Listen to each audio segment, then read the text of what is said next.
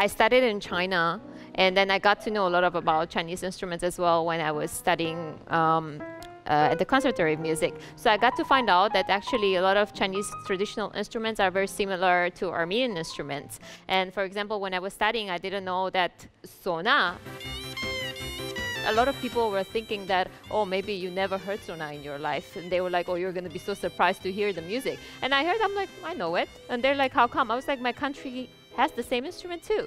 And then it took me to realizing the identities of people and human cultures are so connected and you can find out through culture and through music. That's why, even though you never hear any Chinese instrument, when I hear the guzheng for the first time, I feel something I cannot explain. Some, some kind of connection. It's like I know this, this sound, this quality, this is kind of uh, vibration long time. So I think, yes, um, like now I play Kalangu. Kalangu is really similar with, uh, uh, of course, the sound is different, but the foundation is like a uh, Chinese big drums, the Mashua Chum Otago. Same principle.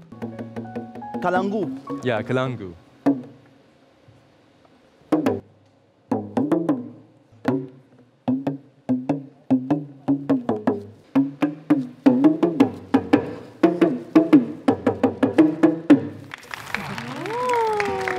What was that for, that number you just did? Was it for... Like uh, I would say maybe come.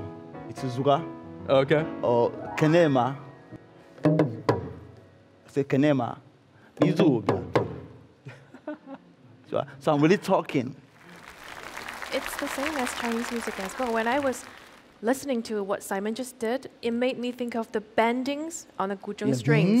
And Mm, it's also absolutely. a way of speaking because each region has its own way of speaking. Absolutely. It's related to their local dialect. So that's why the bending from Henan province would be different from Shandong province Yes. because it's related to their local Language. language. And that's just the same as the talking drum. And Nicola, you certainly felt the, the calling from the suona as well, right? You've always wanted to write for the suona because... Ye- Yes, I haven't had the chance yet. I think the suona is maybe more of an acquired taste for, for some people, like uh, you know, sort of a, a French cheese or chou doufu. You know, maybe not, not something that, that necessarily translates, uh, um, but as a s- you know, instrument with an extremely strong personality and a sort of outdoor use and its um, dual nature as a you know as a funeral and wedding instrument and all these things about it I think are very interesting. And it, it just besides the, that it can technically do very interesting things.